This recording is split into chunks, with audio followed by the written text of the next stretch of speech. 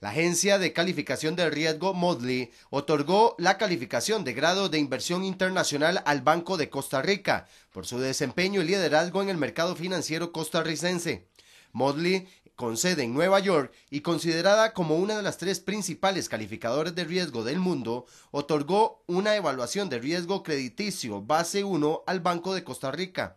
La calificación otorgada es similar a la que se le asignó al gobierno de la República. Eh, recibimos una calificación de riesgo que nos da lo que llaman un grado de inversión. ¿Qué significa esto?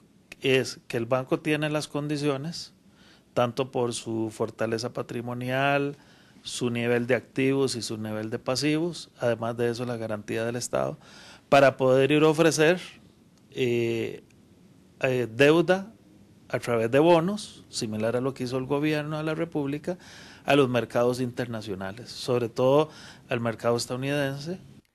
El reconocimiento a la gestión del Banco de Costa Rica abre la posibilidad de oportunidades de negocio y financiamiento en condiciones favorables.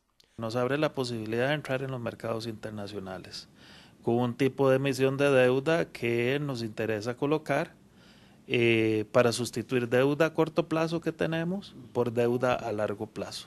Con lo cual, digamos, se aliviana la carga financiera del banco. En Costa Rica esta calificación solo la ostentan el gobierno de la República y el Instituto Costarricense de Electricidad.